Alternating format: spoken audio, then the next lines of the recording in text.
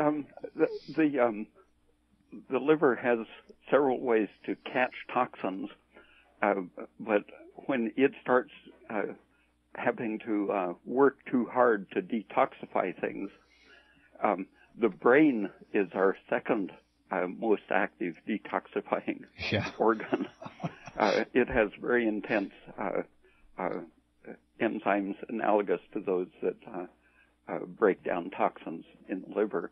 Okay. But uh, if the liver is spending too much energy detoxifying, uh, it uh, becomes unable to produce uh, albumin. Albumin circulating in the blood is is one of the layers of defense when the stuff gets through uh, the into the bloodstream.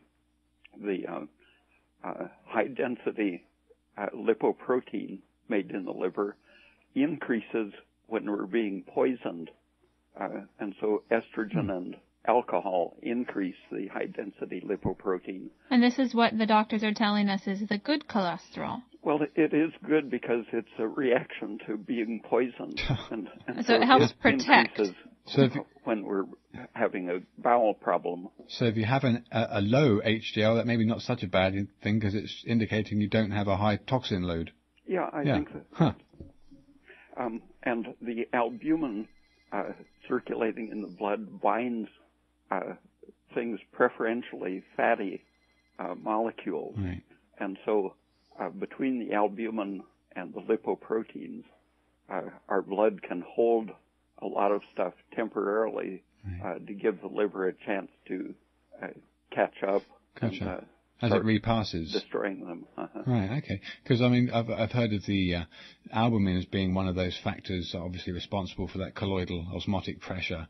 Um, Yeah, and uh, when the uh, liver is starting to be poisoned and uh, uh, estrogen and radiation can do the same thing as endotoxin, uh, the ability to form albumin decreases. Right.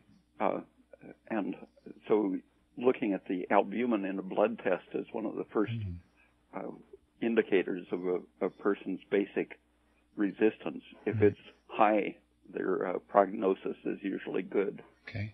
And if it's uh, down around uh, three, where the, the normal is four and a half, Right.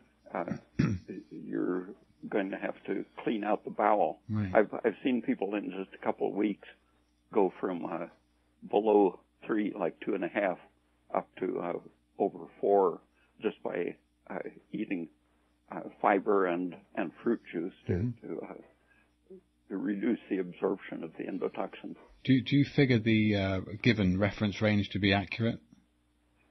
Well, yeah. Uh, uh, the um, the best prognosis is in the range of 40 to 50 or 4 to 5.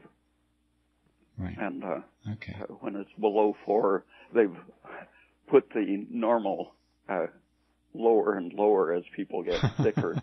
but uh, Okay. 15 or 20 years ago, it was considered bad to be under 4. Right. And now it's normal down to Yeah. 3 point.